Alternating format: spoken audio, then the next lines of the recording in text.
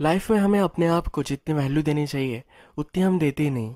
जिस चीज़ को हम पाना चाहते हैं, जो हमें चाहिए होता है, वो हम डिजर्व नहीं करते। ऐसा हमें हमेशा लगता रहता है। लाइफ आपको बहुत सारे चांसेस देती है और जब भी आपको मिल सके तो आपको जो आपको चाहिए, वो पा लेना चाहिए।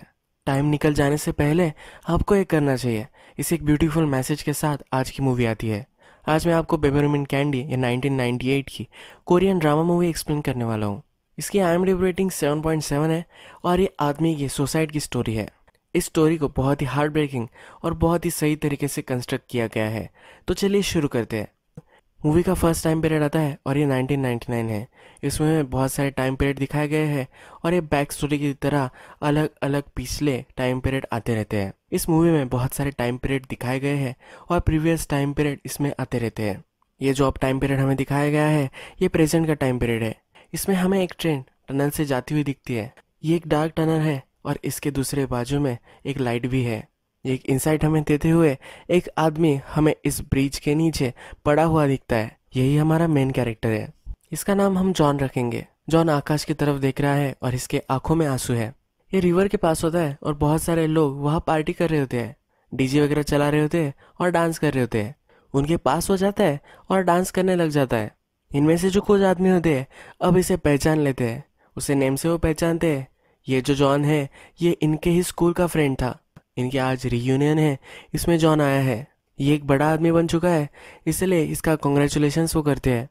उसकी लाइफ के बारे में ये पूछना चाहते हैं। इनके फ्रेंड सर्कल का जो एक लीडर होता है, वो जॉन को बैठा कर कहता है कि मैं तुमसे बहुत पहले ही कांटेक्ट करना चाहता था।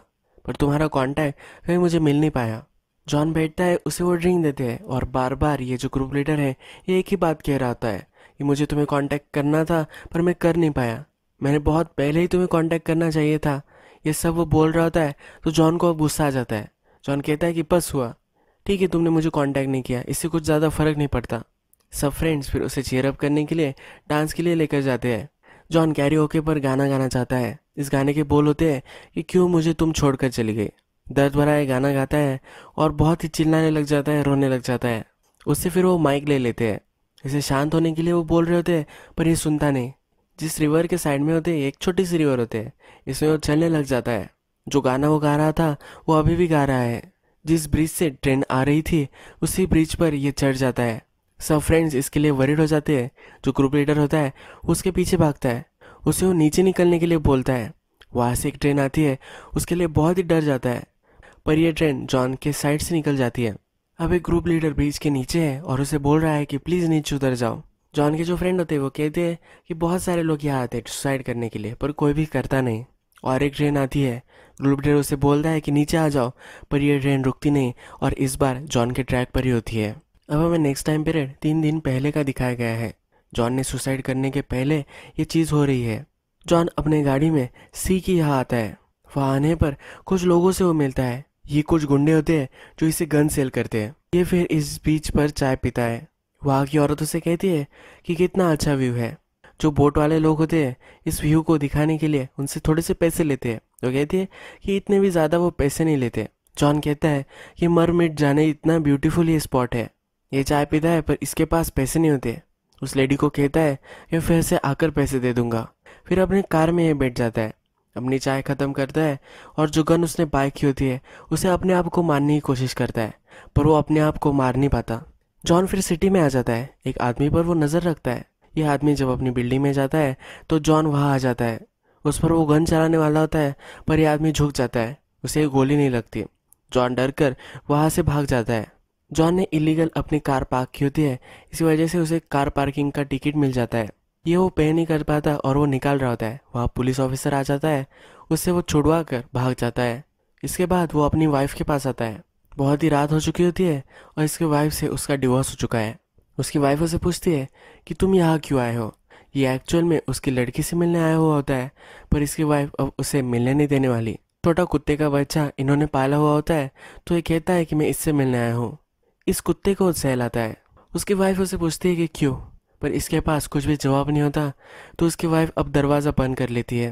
रात में बारिश हो रही होती है और जॉन अपने घर आ जाता है। ये एक झोपड़ी में अब रह रहा होता है। उसका पीछा एक आदमी कर रहा होता है। अब इसे उसने ढूंढ लिया है और जॉन के पीछे उसके घर में आ जाता है। वो कहता है कि तुम्हें ढूंढना बहुत ही डिफ़िकल्ट था। जॉन फिर अपनी गन निकालता है। वो कहता है, किसने भेजा है तुम्हें? यह आदमी कुछ भी बोल नहीं रहा होता। फिर वो कहता है, ये जो गन मैंने बाय की है, मैं अपने आप को मारने वाला था। पर मैंने सोचा कि मैं मरने वाला हूँ तो किसी और को भी मेरे साथ लेकर जाओ। मैं एक ही आदमी को लेकर जाने वाला था, पर मैं अब कन्फ्यूज़ हो चुका हूँ। मैं किसको मारूँ, ये मुझे समझ में नहीं आ रहा। स्टॉक ब्रोकर को, जिसने मैंने सारे पैसे ले लिए, मेरा फ्रेंड जो मेरे बिज़नेस के पैसे लेकर भाग गया लोन वाले जो हमेशा मुझे तंग करते रहते थे, या मेरी वाइफ और लड़की। और तुम यहाँ अब आए हो। तुम्हारा आज का दिन कुछ अच्छा नहीं है। वो उससे पूछता है कि तुम यहाँ क्यों आए हो? वो कहता है क्या तुम सुंची को जानते हो? जॉन पहले समझ नहीं पाता। वो कहता है कि तुम दोनों कपल्स थे। ये जो आदमी होता है, ये सुंची का हस्बैंड होता है। सुंची और जॉन का बहुत सालों पहले प्यार था। सुंची अब बेड पर है और वो मरने वाली है। इसी वजह से उसे अब जॉन को फिर से वापस देखना है। सुंची के लास्ट विश है, इसीलिए उसका हस्बैंड जॉन को लेने आया हुआ होता है। जॉन फिर सुंची को देखने के लिए मान जाता है। सुंची का हस्बैंड उसे कुछ कपड़े दे देता है। जब वो हॉस्पिटल पहुँचते हैं तो सुंची के हस्बैंड को पता चलता है कि सुंची कोमा में चली गई है। वो अब किसी से भी बात नहीं कर सकती। जॉन ने सुंची के लिए पेपरमेंट कैंडी लाई हुई होती है। वो फिर अंदर जाता है। वो फिर भी उससे बात करना चाहता है। वो कहता है कि हमें मिले, बहुत साल हो चुके हैं। मैंने तुम्हारे लिए पेपरमेंट कैंडी लाई है। क्या तुम्हें याद है, जब मैं आर्मी में था तो तुम मुझे ये भेजा करती थी। मैं इसे हमेशा संभाल कर रखता था।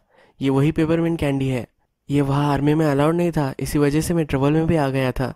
पर फिर भी मैंने इसे जतन करके रखा है। जॉन फिर रोने लग जाता है और वहाँ से चला जाता है। सुंची कोमा में थी, पर फिर भी ये सब सुन रही थी। उसके आँख में आँसू आ जाते हैं। जब जॉन नीचे आता है तो सुंची का हस्बैंड उसे कैमरा देता है। वो कहता है सुंची ने ये तुम्हारे लिए लाया था। ये वो तुम्हें ही देना चाहती थी। जॉन फिर इस कैमरे को सेल कर देता है। रात में हमें जॉन ट्रेन के साइड में दिखता है और यहाँ वो बहुत रोता है। यही ये टाइम पीरियड खत्म हो जाता है। नेक्स्ट जॉब टाइम पीरियड है, ये 1994 का है। इस टाइम पीरियड में जॉन अभी भी अपना बिज़नेस चला रहा है। बहुत सारे फ़ोन उसे आ रहे हैं, ये हमें दिखता है। इस फ़ोन में एक डिटेक्टिव का भी फ़ोन होता है। वो किसी का पता करना चाहता है, किसी के बारे में जानकारी निकालना चाहता है। वो फिर अपने फर्नीचर शॉप पर आता है। वो आकर उसके असिस्टेंट भी होती है, उसे वो चाय देती है। अपने फ्रेंड के साथ वो लंच करने के लिए जाने वाला होता है तभी तो फिर से उसे डिटेक्टिव का कॉल आता है। डिटेक्टिव ने उसकी वाइफ का पता निकाल लिया होता है। उसकी वाइफ पर ही नज़र रखना चाहता है। उसकी वाइफ जहाँ होती है, वहाँ हो जाता है और उसका पीछा करता है। इसकी वाइफ जो है, इसका चक्कर चल रहा है। इसके वाइफ का नाम हम किम रखेंगे। जॉन की वाइफ फिर एक आदमी के साथ उसके घर चली जाती है। जॉन दरवाज़ा खटखटाकर अंदर आ जाता है। ये सब डर जाते हैं और इस आदमी को वो पकड़ लेता है। जब ये सब बाहर आते हैं तो इस आदमी को बहुत मारता है। अपने वाइफ से वो बात करता है। तो उससे पूछता है कि अब तुम कैसे घर जाने वाले हो? वो टैक्सी लेने वाली होती है। उससे भी पूछती है कि तुम कब घर आने वाले हो? वो कहता है कि मैं आज लेट हो जाऊँगा। रात में मैं घर आऊँगा। फिर हमें पता चलता है कि जॉन जब अपनी वाइफ का पीछा कर रहा था, उसने अपने असिस्टेंट को अपने साथ ही लाया था। जॉन का अपने असिस्टेंट के साथ चक्कर चल रहा है और ये दोनों इंटीमेट हो चुके हैं यह हमें दिखता है। जॉन के असिस्टेंट और वो दोनों खाना खाने के लिए एक रेस्टोरेंट में आते हैं। यहाँ इस रेस्टोरेंट में एक बच्चा होता है जिसका बॉल उसके पास आ जाता है। जॉन और ये बच्चा एक दूसरे के साथ खेलने लग जाते हैं। फिर इस बच्चे का पेरेंट आता है। जॉन इस बच्चे के पेरेंट को पहचान लेता है। जॉन उससे पूछता है कि अब तुम क्या कर रहे हो? कैसा चल रहा है? ये जो पेरेंट है, इसका नाम हम जेसी रखेंगे और इसे आप याद रखना। जब जेसी और जॉन दोनों टॉयलेट में होते हैं तो जॉन फिर उससे कहता है लाइफ इज़ ब्यूटीफुल जेसी को समझ में नहीं आता तो फिर से दोहराता है लाइफ इज़ ब्यूटीफुल ये कोट भी आप याद रखना और ये फिर से मूवी में हमें दिखेगा। नेक्स्ट दिन जब आता है तो जॉन के जो सब कलीग है, इन सबको लंच के लिए उन्होंने इनवाइट किया होता है। यहाँ पे जॉन की असिस्टेंट भी होती है। किम का जो डॉग होता है, ये जॉन को पसंद नहीं आता, उसे वो लात मारने लग जाता है। किम अपने डॉग को बचा लेती है। प्रीवियस सीन में हमने देखा था कि इसी डॉग को वो सहला रहा था। वो अपनी वाइफ के साथ जो रिलेशनशिप थी, उसे फिर से पाना चाहता था, इसी वजह से वो ये कर रहा था। जब ये लंच के लिए बैठते हैं तो उसकी वाइफ प्रेयर करने लग जाती है। ये प्रेयर करते वक्त वो रोने लग जाती है। वो अब जॉन के साथ नहीं रह सकती, इसलिए वो हमें घर से बाहर निकलती हुई दिखती है। यही टाइम पीरियड खत्म हो जाता है और नेक्स्ट टाइम पीरियड हमें दिखाया गया है। ये अब 1987 का टाइम है। किम जो है, वो प्रेग्नेंट है। ये हमें दोनों उनके घर में दिखाए गए हैं और किम वहाँ बैठी हुई होती है और जॉन लंच कर रहा होता है। किम अपने हेल्थ के बारे में उसे बोल रही होती है, वो हॉस्पिटल जाने वाली है, ये भी उससे कहती है। जॉन जो होता है, यहाँ अपसेंट हमें दिखता है। वो पेपर में ही देख रहा होता है। उसे किम से बात करने में उतना इंटरेस्ट ही नहीं होता। प्रीवियस टाइम पीरियड में वंडर कर रहा था कि इनकी रिलेशनशिप टूटने में कौन जिम्मेदार हो सकता है। जब इस टाइम पीरियड में हम देखते हैं कि जॉन अब्सेंट माइंडेड था तब ये चीज़ें क्लियर हो जाती है। नेक्स्ट सीन में हमें दिखता है कि जॉन एक आदमी को पकड़ने के लिए आया हुआ होता है। ये जैसी ही है। वो जैसी को लेता है और पुलिस स्टेशन लेकर आता है। जॉन अब इस टाइम पीरियड में बिजनेसमैन नहीं है तो ये पुलिस है। जॉन अब जेसी की पूछताछ करने के लिए स्टार्ट कर देता है। वो उसे बहुत मारता है। जेसी का साथी जो होता है, उसकी पोजीशन उन्हें पता करनी होती है। जैसी कुछ भी बोल नहीं रहा होता, उसे पानी में डुबाते हैं, उसे बहुत ज़्यादा टॉर्चर करते हैं और फिर ये उसका पता दे ही देता है। जब रात होती है तो जॉन अपने फ्रेंड्स के साथ एक क्लब में आता है। वहाँ वो गाना खाता है एंजॉय करता है। वहाँ एक लड़की ने उन्हें ज्वाइन किया होता है। ये जो लड़की होती है, ये अंडर एज होती है। जॉन फिर उसे धमकाता है, अगर तुम फिर से इस बार में मुझे देखी तो मैं तुम्हें जाने नहीं दूँगा। ये डर कर वहाँ से भाग जाती है। जॉन फिर फिर से हमें पुलिस स्टेशन में जेसी के पास आता है। जॉन जेसी को कहता है कि अगर तुमने पहले ही पता दे दिया होता, इतनी तकलीफ़ तुम नहीं सहते। जेसी रो रहा होता है।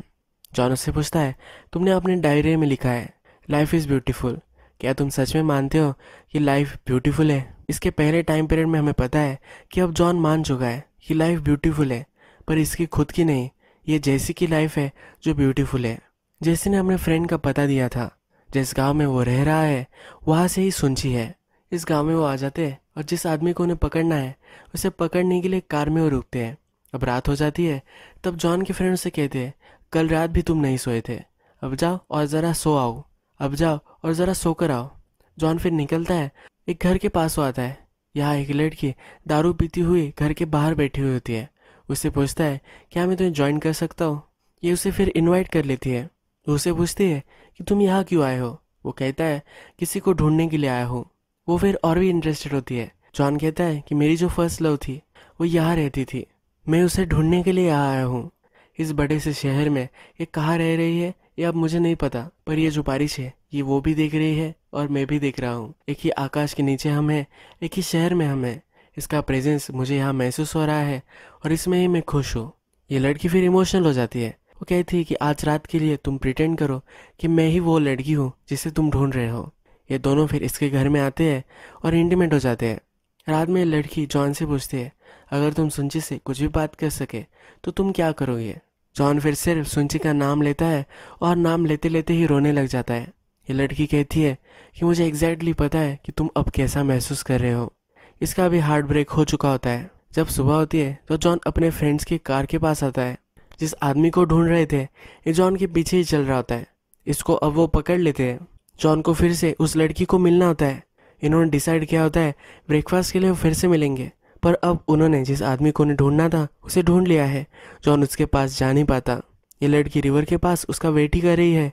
ये हम देखते हैं। यही टाइम पीरियड खत्म हो जाता है और फिर से पास्ट में 1984 में हम आ जाते हैं। यहाँ हमें किम और जॉन दिखते हैं। जिस गली में रहता है, वही किम भी रहती है। किम को साइकिल चलाना नहीं आता। उसे पूछ रही थी क्या तुम मुझे सिखाओगे? जॉन कहता है कि मुझे काम पर जाना है।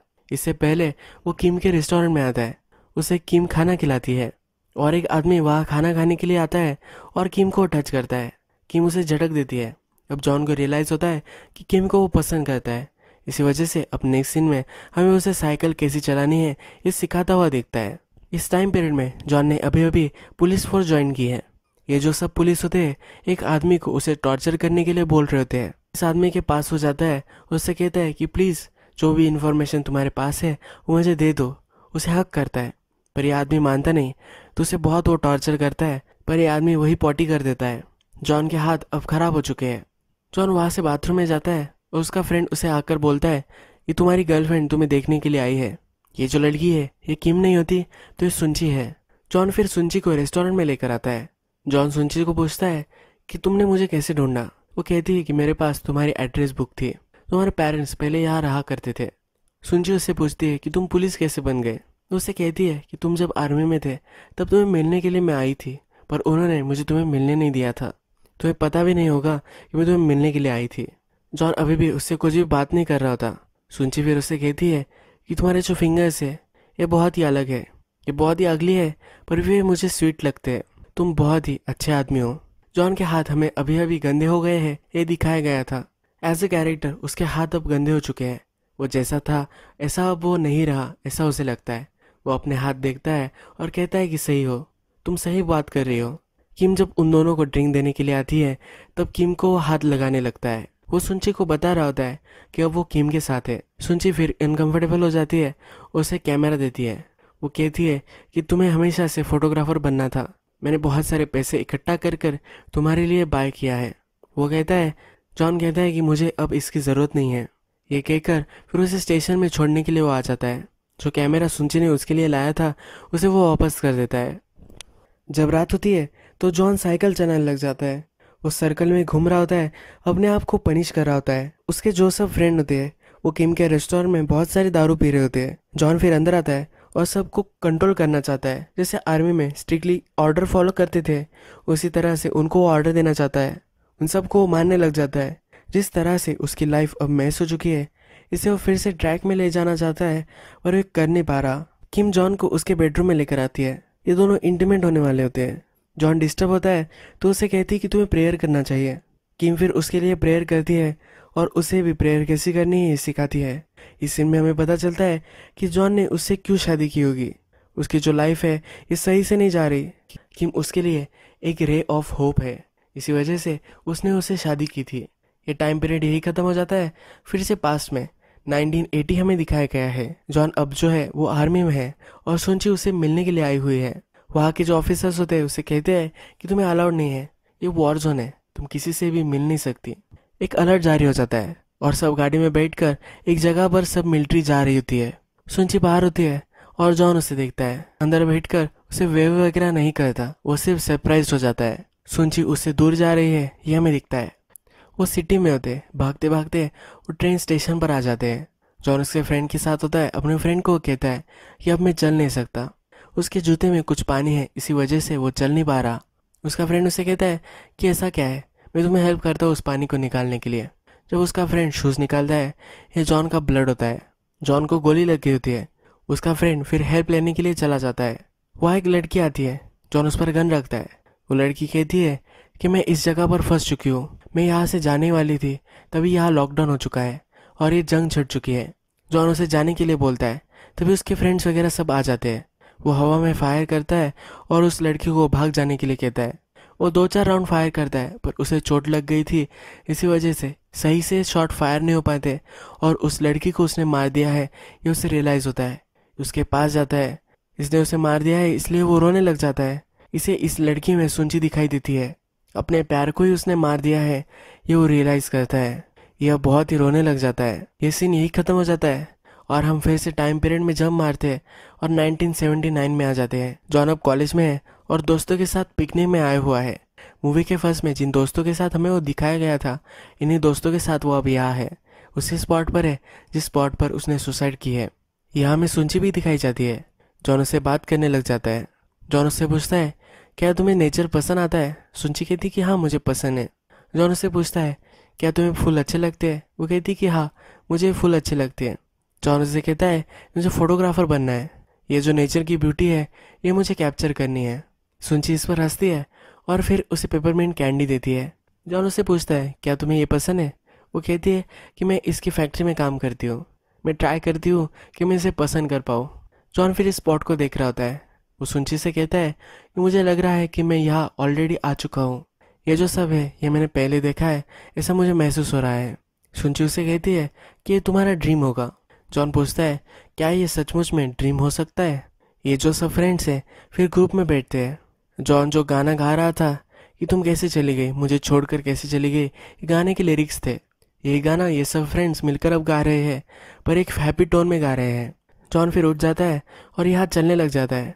वो ब्रिज के नीचे फूलों के पास बैठता है, ऊपर देखता है और वहाँ रोने लग जाता है। यहाँ कुछ बहुत बुरा होने वाला है, ये रियलाइजेशन उसे होती है। यहाँ हम सोचे तो ये मोमेंट जॉन के लिए परफेक्ट था। या उसे जो भी सब चाहिए था वह कर सकता था, इसके लिए वो होपफुल था। यह उसे पता था ये सब छोड़कर उसे आर्मी में जाना पड़ेगा। इसीलिए यहाँ वो रो रहा है। इसका जो फ्यूचर है, वो अनसर्टन है। जो भी उसे चाहिए, वो पा तो सकता है, पर उसे इसकी पॉसिबिलिटी बहुत ही कम लग रही है। ये सब सोचकर उसकी डेथ इमेजिन करता है और यहाँ वो रो रहा है। अगर हम फिर से इस मूवी के जो सीन्स थे, इन्हें एक लीनियर तरीके से फिर से एनालाइज करें तो हमें बहुत सारी चीज़ें पता चल सकती है। मूवी का लास्ट सीन जो था, उसमें वो जैसा था, वैसे हमें दिखाया गया है। उसका एक प्योर फॉर्म हमें यहाँ दिखता है, पर वो वैसा हो नहीं पाता। इससे पहले जो सीन है, जहाँ सुनची उसे मिलने के लिए आती है, उसमें उसे मार रहा है। उसका जो प्यार था, उसे उसने मार डाला है, ऐसा उसे दिखता है। इससे और एक पहले सीन में, जब वो अब किम से मिल चुका है, किम के रेस्टोरेंट में वो खाना वगैरह खाता है, इस सीन में, जब उसे सुनची मिलने आती है तो वो उसे भी ठुकरा देता है। उसके पास के साथ, उसके जो सब टाइस थे उसने उसे मार दिया है। और एक इसके पहले सीन में, जब किम इसके बच्चे के साथ प्रेगनेंट थी, तब इसने अपने फैमिली को ही मार दिया है। वो किम के साथ इतना जुड़ नहीं पाता।